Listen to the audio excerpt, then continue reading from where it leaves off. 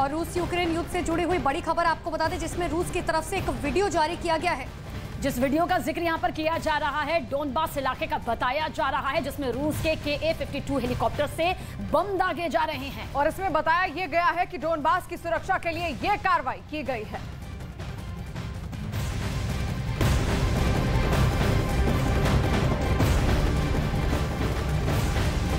ज़मीन से लेकर आसमान तक बस बमबारी हो रही है, गोलाबारी हो रही है। इस बीच रूस यूक्रेन महायुद्ध से जुड़ी हुई बड़ी खबर आप तक पहुँचा दें, जिसमें यूक्रेन ने अमेरिका से और हथियार देने की बड़ी डिमांड रखी। और इसी के साथ इसमें ईरान के शाहिद ड्रोन के खिलाफ कार्रवाई के लिए यूक्रेन ने अमेरिका के क्रैम डिफेंस सिस्टम मांगे हैं।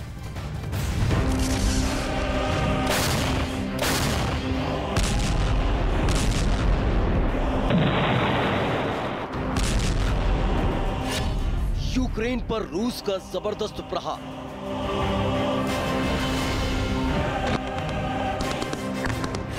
यूक्रेन ने अमेरिका से मांगे हथियार।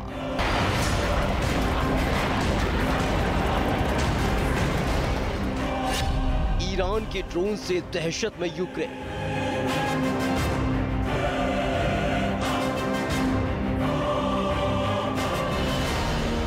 रूस और यूक्रेन के बीच जारी जंग अब इतनी लंबी खिंच चुकी है कि दोनों ही देश न झुकने को तैयार है और न ही पीछे हटने को। ऐसे में रूस लगातार यूक्रेन पर हमला कर रहा है तो वही यूक्रेन भी उन हमलों का जवाब दे रहा है। हर मोर्चे पर घेर चुके रूस ने अपने जखीरे से जैसे एक घातक हथियार निकाला, उसके बाद यूक्रेन के होश उड़ गए।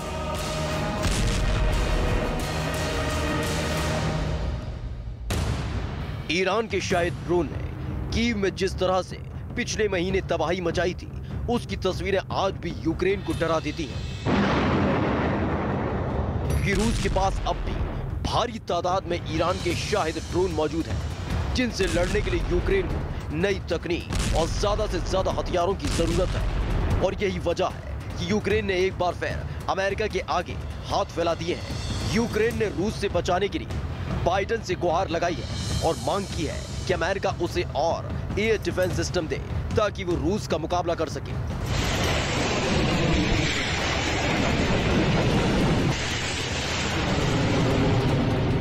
यूक्रेन भागा भागा अमेरिका के पास पहुँच गया है और उसकी संसद के चेयरमैन ने सीनियर अमेरिकी सांसदों से अपील कर डाली है कि जितना जल्दी हो सके, अमेरिका यूक्रेन को एयर डिफेंस सिस्टम दे। नहीं तो पुतिन यूक्रेन पर ईरान के दिए गए ड्रोन दागकर दुनिया के नक्शे से उसका नामो निशान मिटा देंगे। क्योंकि ईरान का बनाया गया शायद 136 ड्रोन यूक्रेन पर गिरा गिरा कर रूस ने उसका क्या हाल किया है? उसकी तस्वीरें पूरी दुनिया ने देखी हैं। शाही ड्रोन को हथियार बनाकर रूस पहले ही यूक्रेन की राजधानी कीव के बड़े हिस्से को अंधेरे में डुबा चुका है। वो ड्रोन से यूक्रेन के पावर प्लांट को निशाना बना रहा है, जिसकी वजह से कीव के कई इलाकों में बत्ती गुल हो गई यूक्रेन की सरकार ने लोगों से कीव खाली करने को कह दिया। है यूक्रेन के पास शायद 136 ड्रोन का काम तमाम करने के लिए हाईटेक हथियार नहीं है।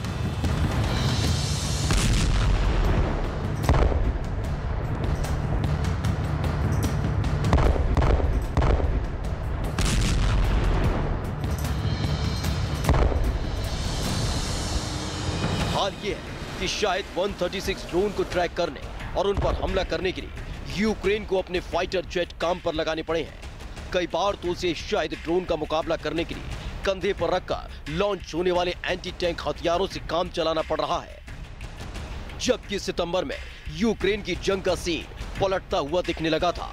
पहले खारकी फिर पूर्व में डॉनबास और उसके बाद दक्षिण में खेरसोन में जेलेंस्की की सेना ने जिस तरह बाजी पलटी उससे यूक्रेन की जीत लगभग पक्की दिखने लगी थी। लेकिन तभी ईरान के शायद 136 ड्रोन ने जंग के मैदान में ऐसी धमाकेदार एंट्री मारी। यूक्रेन धमाकों से ही दहल उठा।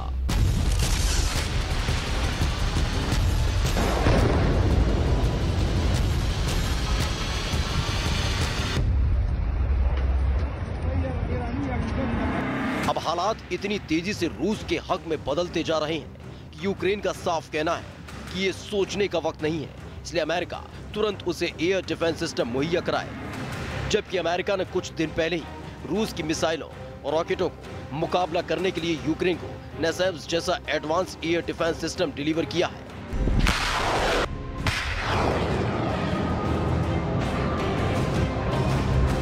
लेकिन यूक्रेन का उससे पेट नहीं भर रहा है। यूक्रेन ने अमेरिका के सी रैम डिफेंस सिस्टम पर हाथ रख दिया है। यूक्रेन का कहना है कि उसे शायद 136 ड्रोन को मार गिराने के लिए सिर्फ़ और सिर्फ़ सी रैम डिफेंस सिस्टम ही चाहिए, ताकि वो पावर प्लांट जैसे अपने अहम ठिकानों को रूस के वार से बचा सके। दुश्मन के हथियार को ट्रैक करने के लिए सीरैम के अंदर ही रेडार फिट है, जिसके खतरे को भापते ही सी रैम में लगी बड़ी सी रैपिड फायर गन काम पर लग जाती है। फिर एक मिनट में धड़ाधड़ साढ़े चार हज़ार राउंड फायर होते हैं, जिससे सामने चाहे मिसाइल हो रॉकेट या फिर तोप के गोले। दुश्मन का हर वार खाली चला जाता है।